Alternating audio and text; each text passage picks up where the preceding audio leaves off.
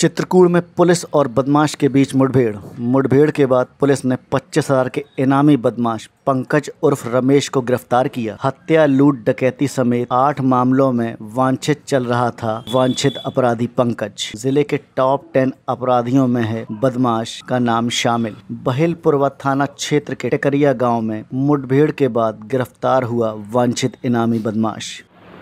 आज थाना वेलपुरा क्षेत्र अंतर्गत सुबह प्रभारी निरीक्षक और मीडिया सेल के सब इंस्पेक्टर को सूचना प्राप्त हुई कि एक अभियुक्त जिसका नाम पंकज है और वर्ष 2006 से लूट और हत्या के प्रकार, हत्या के प्रयास के मुकदमे में थाना मानिकपुर से वांछित चल रहा है और जिस पर 2009-10 में इनाम डिक्लेयर किया गया था।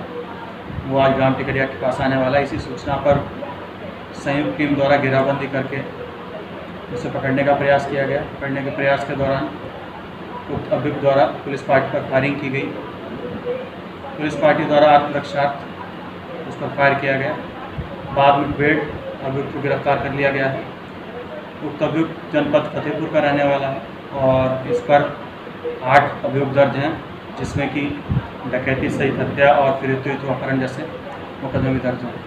अभियुक्त को गिरफ़्तार कर लिया गया है और यह जनपद का टॉप टेन भी था जिस पर अग्रिम कार्रवाई की गई।